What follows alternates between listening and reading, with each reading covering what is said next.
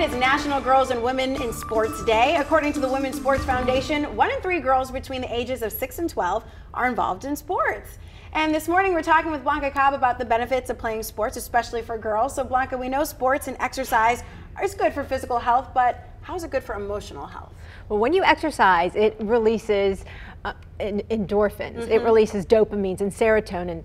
All that makes you feel good. And some people even say it's almost like a shot of a painkiller because it can decrease some pain. And if you're more calm and relaxed after you exercise, then you're going to be able to handle life stresses a little bit easier. Mm -hmm. I always feel better after a good mm -hmm. workout, so I, I get with that. What do you think is a benefit that a lot of people don't realize? Oh, well, parents, a lot of parents feel like they're an event planner because their kids are saying, I'm bored, or right. they get worried as their kids get older, they might get involved in some trouble. Mm. Well, kids who have practice and have games, they don't have a lot of free time. Right.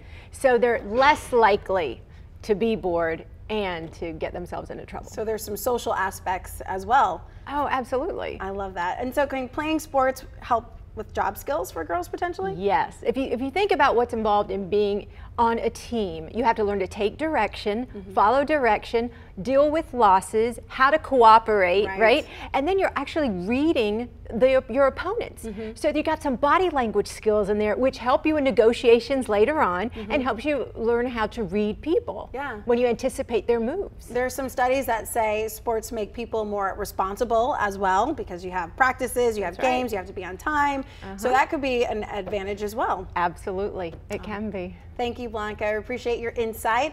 A pretty interesting conversation here. Of course, you can weigh in on our Facebook page. Blanca's got hers up right now. You can chat with her, give her a like, and let her know what you think right on her timeline.